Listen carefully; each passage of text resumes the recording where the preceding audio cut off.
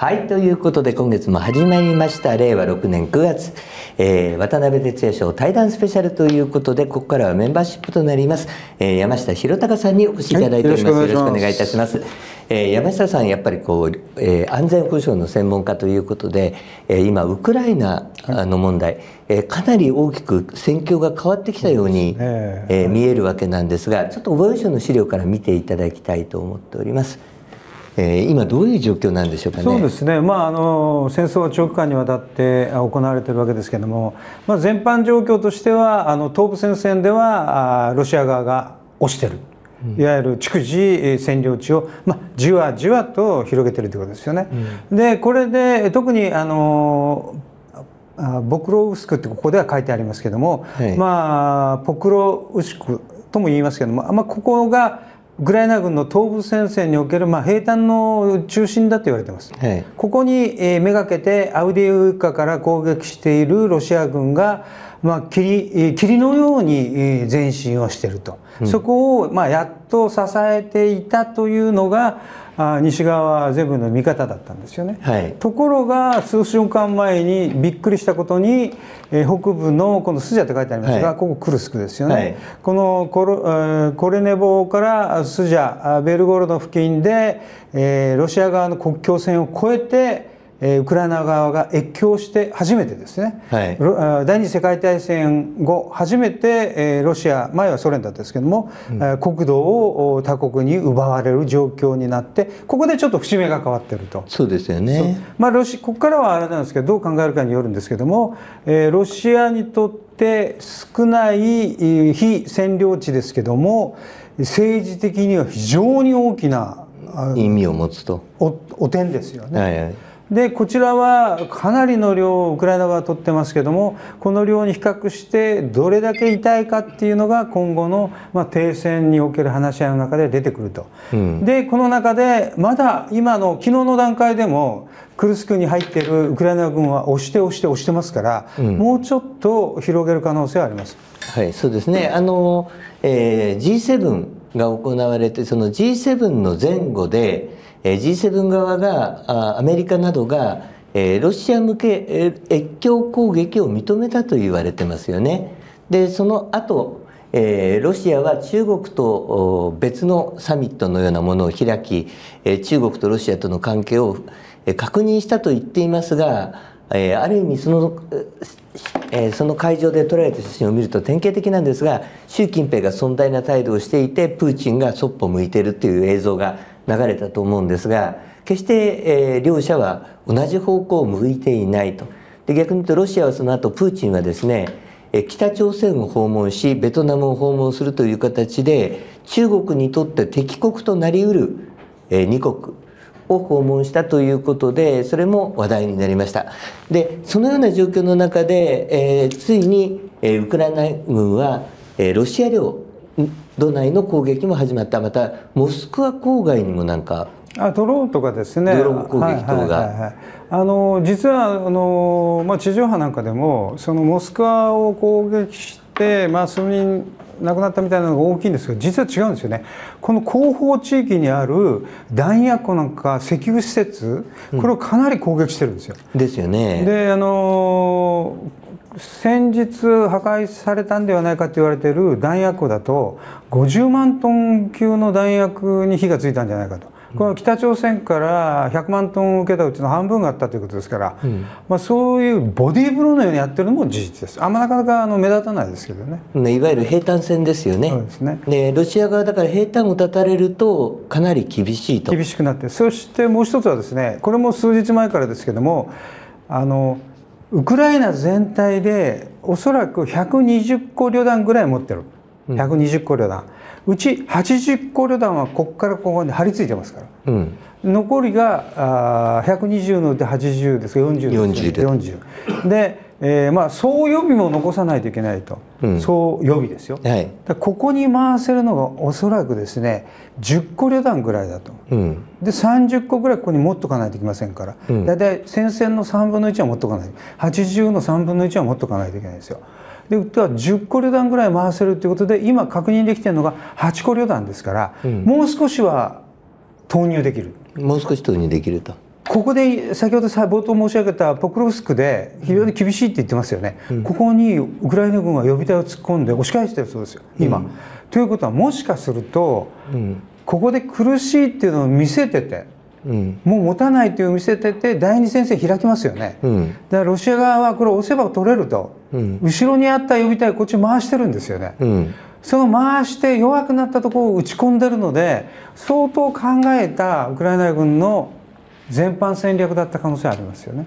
そうですよね。ですからかなりその戦線が変わってきてるあとまあクリミア半島のこのゼバストポリ、えここに黒海艦隊の中心部え司令官司令塔がありました。がこれノボロそうです。全部下がってまで興奮下がってるんですよね、はい、でこのクリミア大橋遮断されてますからロシア側とクリミア半島の直接的な接続路というのが今まあこういう占領地はありますから入れますが陸から立たれているような感じにはなってますね。ねまだまだあのクリミア大橋はあの通行可能ですけども、まあ制限してますけど、はい、補給線はまあこことあと海上輸送ですよね。ねはい、それからここからこう回すと。い。う線があるんですけどもこの前ここにある、えー、と燃料輸送線をドローンで破壊しましたよね、はい、だからなかなかここのアゾフ海自体も安全ではない、はい、でここもいつでも攻撃されますから、はい、ここの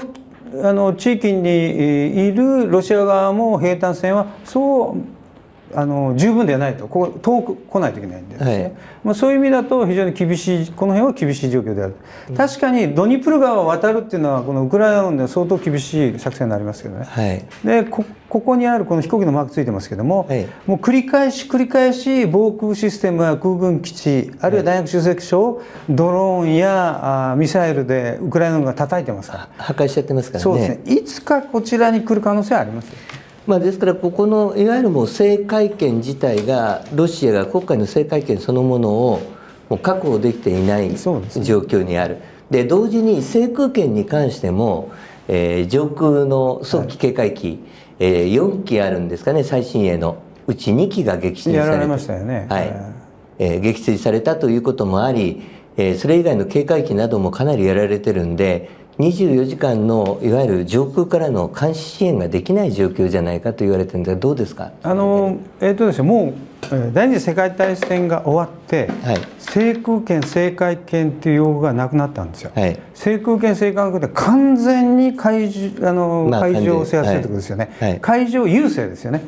ある時期、ある地域で確保できるかって言ったら例えば日中例えば日中ですよ、はい、日中国海の東部地域をロシア軍が政海あすみません。海上航空の優勢確保できるかって言ったらできないということですよね。できない。ドローン飛んできますから。ドローン飛んできますそれからどこから見てるかわからないし、はい、西側の人工衛星もありますから衛星支援ありますから、ね、そういう感じだともう国海に関してはロシア側がコントロールできない状況ですよね。そうですよね。あの空はまだあのウクライナ側の防空能力が低いあ戦闘機のです、ね、戦闘機の、ね、はい、低いのでまだロシアが持ってるということですね、はい、ただ F16 とかをね順次供与するのとパイロットの教育っていうのもかなり進んでると言われてますので。十数機今 F16 が入って一機、はい、友軍が撃ち落としたんじゃないかと言われてますが、はい、あれは、えっと、半年ぐらい教育を受けてきたパイロットですから、初心者マークがついてますから。はい。で航空自衛隊でもベテランに仕上げるのに数年かかるんですよね、はい、だからあの使い方によってはまだ全然使えないと。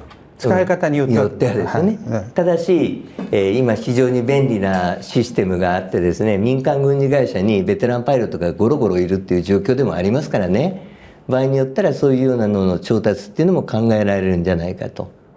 言われてますがどうですかねそのあたり。あとやっぱりあのその例えばその F あ MiG25 に乗れるから F16 に乗れるかって乗れないので、はい、やっぱり機種変換で数年かかってしまいますから、まあ、一番いいのは退役したパイロットをもらう。あのその F16 の戦闘機パイロットですよ言いますからねいくらでもね、それをもらうって言ってありますけどかなり金払わないといけないですよね。いやだから西側がどこまで応援するかによって、えー、だって南アフリカのね航空機学校なんてあの中国に技術を売り渡したので話題になりましたけれどもあそこなんか F16 乗りいくらでもいますからね。そうですね。あの、はい、まあそうい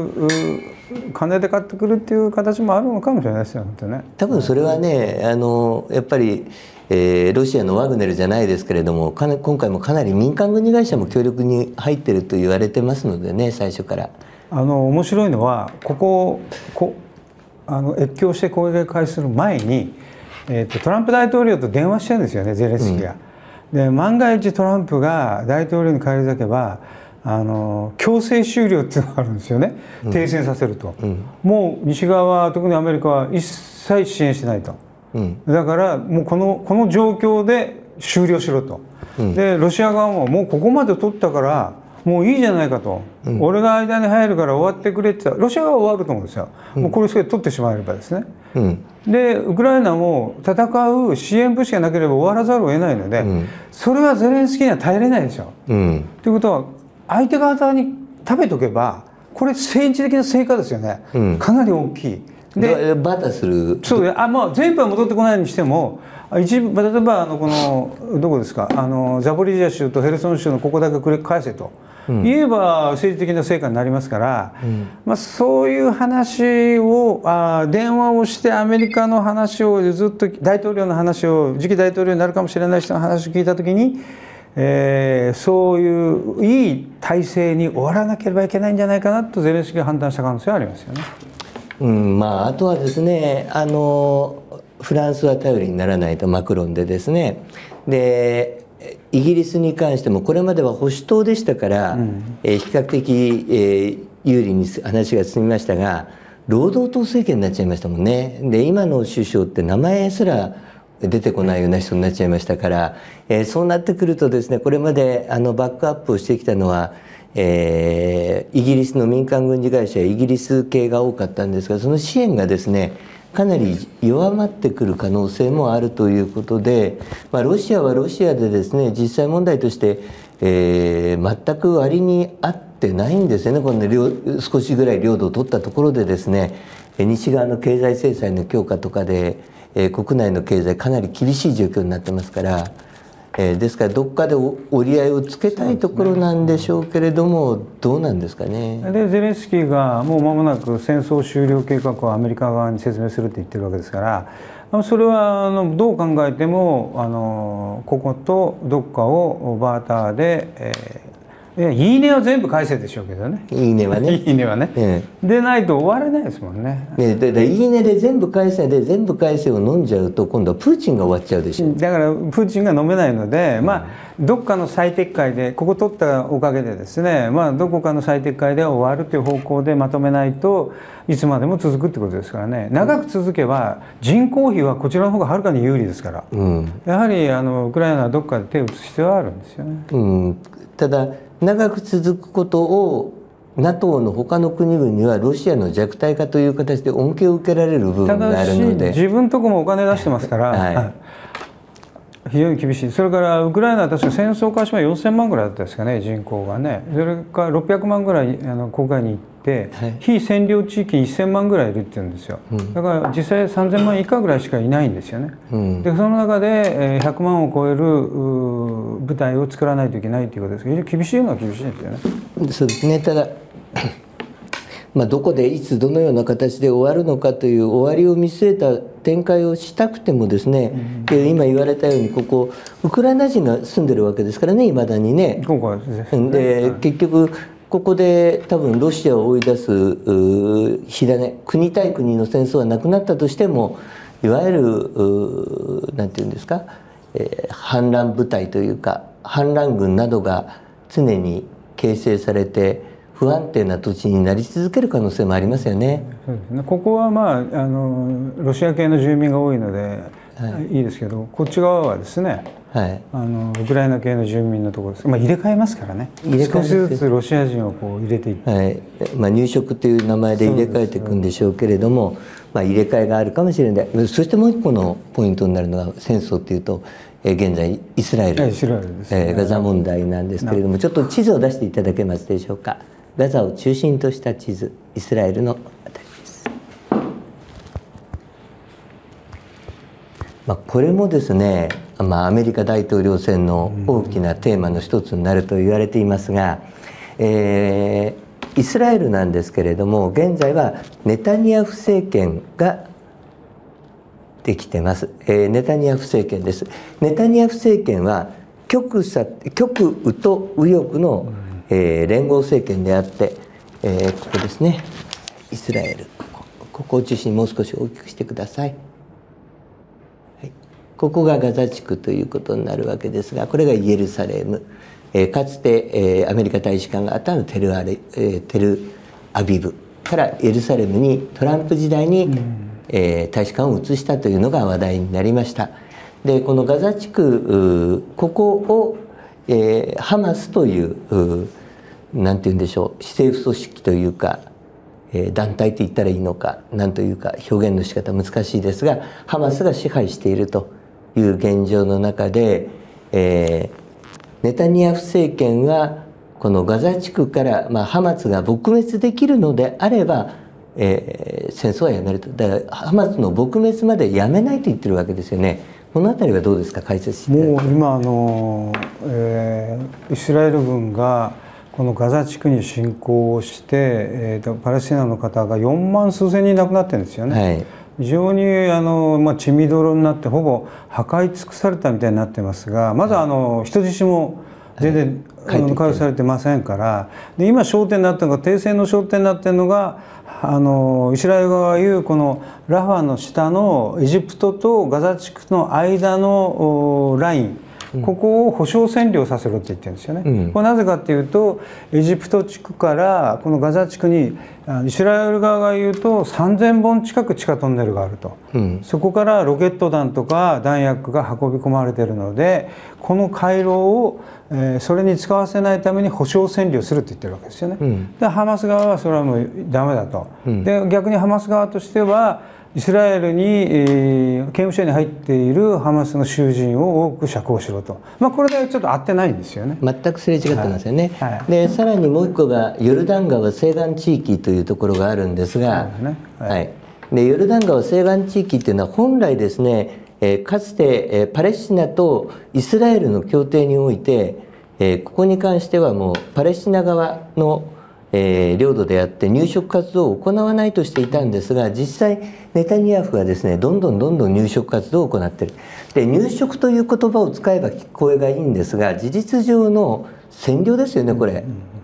あの結局入植という名前で人を送り込んでそこで軍隊を送り込んでそれでもともといた住民たちを排除していくわけですから完全なこれ武力による侵攻と言ってもいいんですけれどもこのもともと西岸地区の法律上は、まあ、あの治安維持をイスラエルとこの西岸地区の政府が同一緒に行うとなってますよね、はい、だからもう管理下にあるんですよ準管理下に。ね。うん、でそれと別に入植地を増やしていくってことは領土を食べてるってことですもんね。それはちょっと私の感覚でもいかがなものかなと思いますよね。うん、であの極左政党っていうのがですねこのあ極右政党っていうのがこのヨルダン川西岸地域出身者が多くてもともと、我々はユダヤ人でそこに住んでたってなんで我々が出ていかなくちゃいけないんだと言っている。でこのような人たちが極右の人たちからすると大イスラエル主義。えつまりですねこのパレスチナまで含む全ての土地はこれはイスラエルであるというのを掲げている人たちがいる。その人たちの割合が現在、えー、イスラエル国内で15%近くまで上がっているという中で、まあ、はっきり言ってこうガザ地区もハマスを利用した、えー、事実上の占領目的じゃないかといわゆるパレスチナ追い出しですよね。なぜかというとあのイスラエルの場所を考えていただくと分かるんですがここにあの大きな港があってですね物流の拠点としても手に、えー、喉から手が出るほど欲しいでガザの脇にここに巨大なガス田が見つかっておりましてエジプトとイスラエルそしてガザ地区ガザ地区のハマスとの間でその戦争が始まる前どういう分配でその資源を分配していくかというような話し合いも行われてたわけですよね。そのような状況の中でハマスが攻撃し、えー、今度はイスラエルが逆攻撃しこのガザ地区を今占領しているという状態ですよね。またそれに今度はあのレバノンのヒズボラとかですね、はい、まあ、複雑にあの絡み合ってきますからまあこれはしばらくはこの状態が続いていってウクライナよりは長引く可能性もありますよね、えー、ちょっともう少しこれ出していただきあの逆逆方向に、えー、大きい地図に変えてください小さくしていただいて。まあ、こう土地的にはですねこういう土地勘になってくるわけでここはイスラエルなんですがえーヨルダンのおあれですね、えー反政府組織というかが、えーありましてあとはまあその背後には、えーイランがねはいはいイラン革命隊ですね。でまあこのこのような形の中で、えー本来は同じイスラム教の中でもスンニ派いわゆる産油国などアラブ諸国のスンニ派。それに対してイランの、えー東部とイラク。イランの西部イラクの東部とイランがもともとペルシャということでシーア派と。で同じユダヤイスラム教の中でも強い対立してまして敵の敵は味方という構図でイスラエルとそして UAE やサウジなどとの合意がなされているという形だったんですがねこれがあのえトランプ政権からバイデン政権に変わることによってイランに対する融和政策をアメリカが取ってしまったために力の均衡が崩れたということでよろしいんですかね。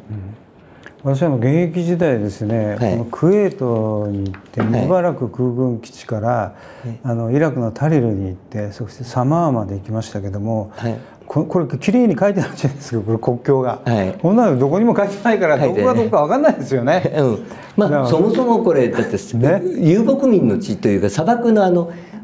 アラジンと魔法のランプの世界で。これはあのフランスとイギリスが勝手に線引いたで現地はこんなになってないんでですね、い。この辺まあここの辺はあの揉めてるんでしっかりしてますけど、はい。あのよくよくこう見ていくとこれらの国々の人っていうのはここに生きてる人たちは別にこっちにいようこっちに行かが関係ないんだろうなと思いますよねこれ、うん。まあ、もう一つすごいのはあのイラク戦争の時にこのクウェートからうん。イラク軍が撤退するうん。この道路があるんですけど、8号線だったんですかね。そこに、えーイラク軍の車列に MLRS で米軍が撃ち込んだんですよ。うん。そしたら2キロぐらいの車列が全て丸焼けになってて、うん。あの私が行った時はそれまだ残ってるんですよね、うん。ず2キローっと中央線まではい。丸焼けになった、運転席にはまだ骸骨とかあるわけですよ、うんそういう戦争を今ここでやってるっていうことですもんね、うん。まあ非常にあの恐ろしいというか逃げ場がないですからね。逃げ場がないです。ね。砂漠ですから、まあ、ここ建物に行ったってやられてますからね。あのいわゆるこのアラブ中東地域っていうのは、まあ、中央アジアもそうなんですが部族社会なんですよね。でその部族が占領している地域を国だと彼らは考えていると。だからイスラム国という名前を名乗るのも自分たちの占領地域は自分たちの国家である国であるという概念が、えー日本人には理解しづらい概念がこの地域では今もあるということですよね。アフリカなんかもそうですけどね。